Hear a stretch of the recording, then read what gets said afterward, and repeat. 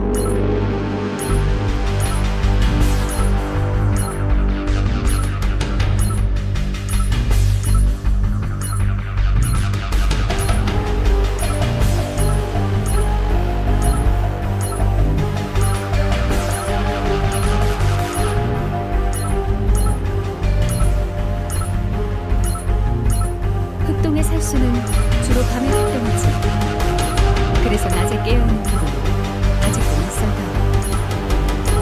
본인이 수업 시간마다 장 잠드는 일 또한 그 때문이라네.